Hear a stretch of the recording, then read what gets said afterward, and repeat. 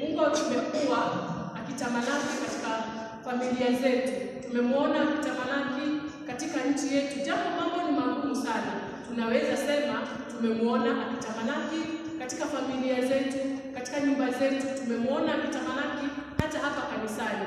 Watoto wako shuleni na bado tunasema anatamalaki.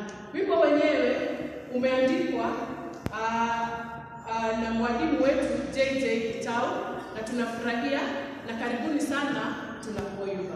Asante.